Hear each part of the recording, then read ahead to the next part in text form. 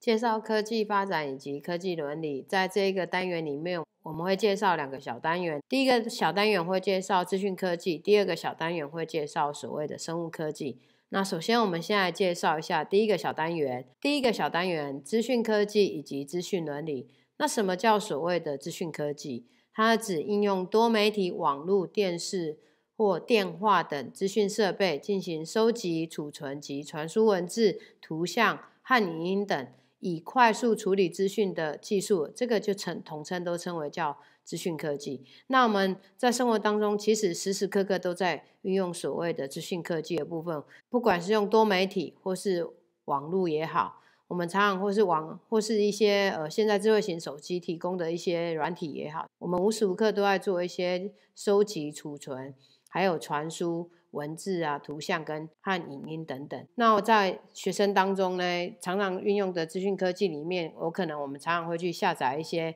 我们想要听的音乐，不然就是我们想要看的影片。那除此之外呢，我们也常常会去下载了一些去下载文章，透过复制跟贴上的功能呢，交代老师给你的作业。但是不要忘记了，当我们在享受科资讯科技的便利的同时，我们可以呃在网在资讯科技找到我们想要听到的音乐，我们想要知道的知识，然后想要看的影音之外，但是有时候我们在做这件事情的时候，我们并没有得到所谓的这些智慧财产的当事人呢，他同意，这时候我们有可能违反到所谓的资讯伦理的部分，而且可能触了法。那在常常我们在学生或是大里面，我们不管是在资讯科技里面运用它这些功能。我们有时候无时无刻的，其实我们已经触犯到所谓的智慧财产权。那智慧财产权里面，我们比较常见的就是这三类的法律，法律，比如说著作权法、商标法以及所谓的专利法部分。那呃，我们来介绍一下什么叫著作法哈，著作权法哈，跟同学简介一下什么叫著作权法，什么情况之下你是违反了著作权法。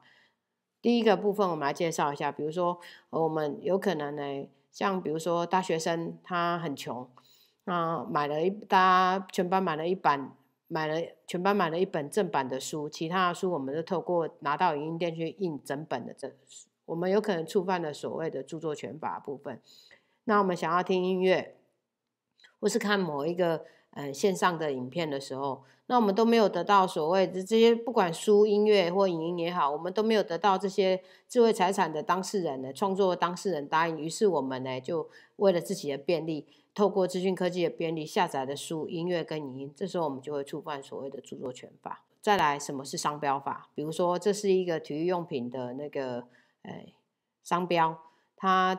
英文名字叫 Puma，它有出球衣或球鞋。那有一些人呢，他为了赚钱呢，他还高，他还欺骗消费者说他的也是铺马，然后他是副厂牌，然后透过这个原版的商标，然后复制一个所谓的副商标，像这样子的方式，其实就会触犯了所谓的商标法的部分。那第三个，嗯，在我们日常生活当中，也有可能去触犯到专利法。那什么是专利法？所谓专利专利法，就是比如说 A 公司它发明了这一支不粘锅的那个嗯专利技。他 A 公司他研发出一些 A 公司他发明出了一个呃，让家庭主妇在炒菜炒菜做饭的时候嘞，将东西放到这个锅子里面都不会粘粘黏，就叫不粘锅。那 A 公司发明这个之后，他也去申请了所谓专利，只有 A 公司可以用。这时候 B 公司看到看到这一只不粘锅，它可以赚那么多的商业利益，于是他也去模仿。一模一样的所谓的专业技术，开一个 B 公司，这时候你有可能呢就会触犯所谓的专利法部分。那接下来呢，网络虽然带给我们便利嘞，但是有时候我们在网络上面，我们有可能会深陷第一个，比如说网络犯犯罪当中，然后呢，我们的资讯公开有偶偶尔嘞，有时候会去侵犯到别人的隐私，别人去侵犯到我们的隐私。那在网络世界的时候，我们也有可能成为一个。传播色情的一个人哦，再来就是传播病毒的人，因为他都可以透过一些骇客的，然后写程式的方式，透过你的个人资料，然后再连接你的朋友，再偷取、窃取你朋友里面资料，然后作为他犯罪的一种工具。所以在资讯科技里面带给我们便利，让我们资讯透明之外，其实某一些部分我们要去特别注意一下，就是不要去触犯的一些法律，然后造成自己呃不必要的麻烦。关于大众违反的一些所谓的资讯伦理的部分。那政府应该如何去做一些立法上的应用？政府关于这些资讯科技里面规范部分，它做了一些所谓的资讯立法部分，它透过所谓的个人资料保护法来保保障我们个人的资料而不被公开，然后不被冒用。再来。国家也立了一个叫所谓的，在刑法里面定有一个所谓的妨害电脑使用罪，避免骇客进到你的电脑里面做一些违法勾当的部分。这是政府在防范所谓的资讯科技一些负面的时候，它可以做的立法部分。立法来固然呢，它是可以保护我们之外，其实最重要，我们应该是要做到所谓的资讯伦理的部分。那在资讯伦理里面，它无非就是要建立跟约束嘞，培养嘞。使用者嘞，可以透，他可以透过自律跟自重，还有守法的方式嘞，来遵守在资讯科技里面的一些游戏规则。透过这一种自律自重跟守守法的方式，才可以让我们在资讯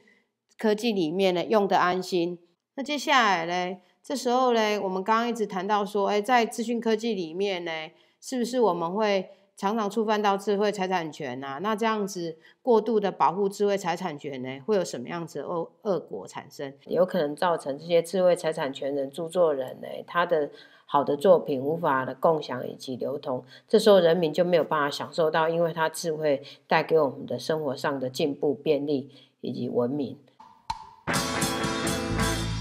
Siri 如何喜好嘞？政府嘞，在近几年来嘞。他为了调和所谓的社会公益以及文明的发展呢，他告诉民众说，可以在合理的范围里面呢，分享及使用创作跟创新的结果。像在学术界这几年推展的非常有一定的成效，比如说我们常常会看到的创用信息的部分，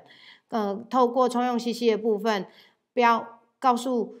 民众可以在什么样子合理的范围里面去分享使用创作人他的创作或创新的结果。除了创用，呃，另外除了创用信息之外呢，其实政府也在著作权法里面呢，允许民众呢，如果在学术教育呢，或是个人利用，它是属于非盈利行为，就非商业行为，它其实也在合理的范围里面，它也是你也是可以引用他人的著作部分。那或是比如说，呃，另一种情况是，当著作权。著作财产权超过法律保障的权限，比如说著作人死掉了之后，过了五十年之后，这时候他就丧失了所谓著作财产权，那这时候你就可以自由使用它，而不怎么样，嗯，不会有所谓的呃犯法的疑虑。